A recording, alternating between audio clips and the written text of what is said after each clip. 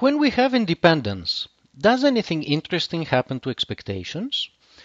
We know that in general the expected value of a function of random variables is not the same as applying the function to the expected values. And we also know that there are some exceptions where we do get equality. This is the case where we are dealing with linear functions of one or more random variables. Note that this last property is always true and does not require any independence assumptions. When we have independence, there is one additional property that turns out to be true.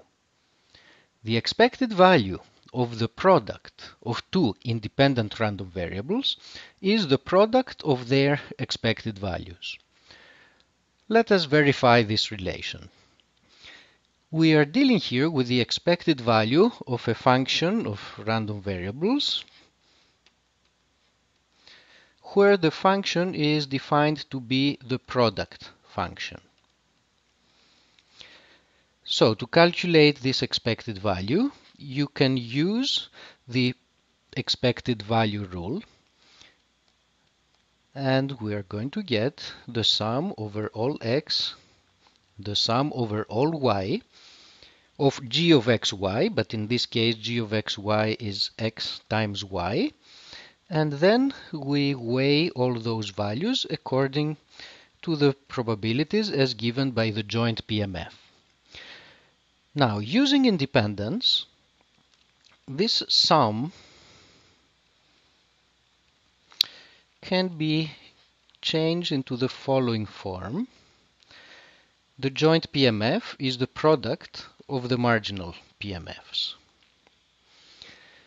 And now when we look at the inner sum over all values of y, we can take outside the summation those terms that do not depend on y, and so this term and that term, and this is going to yield a summation over x of x times the marginal PMF of x, and then the summation over all y of y times the marginal PMF of y.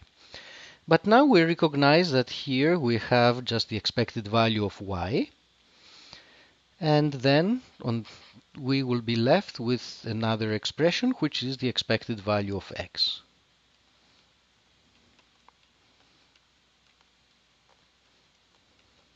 And this completes the argument. Now consider a function of x and another function of y. x and y are independent. Intuitively, the value of x does not give you any new information about y, so the value of g of x does not give you any new information about h of y. So on the basis of this intuitive argument, the functions g of x and h of y are also independent of each other.